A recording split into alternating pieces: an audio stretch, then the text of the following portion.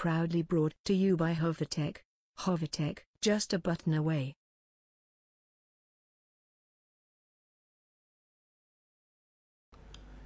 In this video tutorial, I'm going to explain how to backup and write NV on a MediaTek Android device using Miracle Box. You need your NV items to fix issues like baseband, unknown baseband, non-IMEI, and other NV issues. Now, for you to do this, you need to have your Miracle Box. I have mine here, and you need to, of course, launch Miracle Box.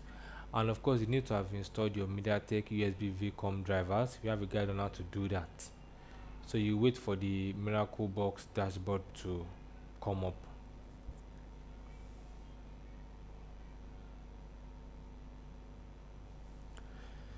good now in the miracle box you go to the mtk tab you take the mtk tab and then you tick nv read and you tick android. Now you click the start button. Now once you're still waiting for USB port you power off the device still with battery inside don't hold any button then you connect it to the PC via a USB cord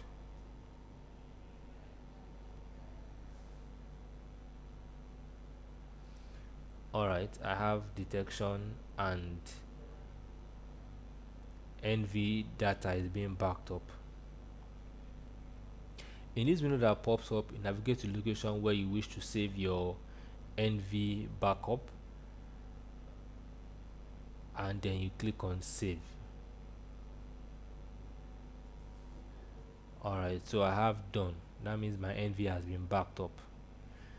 Now to write NV is the same process only that you just select NV write this time around and you still leave Android ticked then you click you have Android leave Android ticked then you click the folder icon now need to know that pops up, you select the NV backup, which is made from a working phone of the same model. You select the NV backup and then you click on open and then you click on the start button. Now you power of the device still with battery inside, don't hold any button, then connect it to the PC via USB cord. Don't forget you read from a working phone and you write to a phone that has NV issues. So writing nv data is done. Good. So that's how to backup and write nv data on a MediaTek android device using miracle box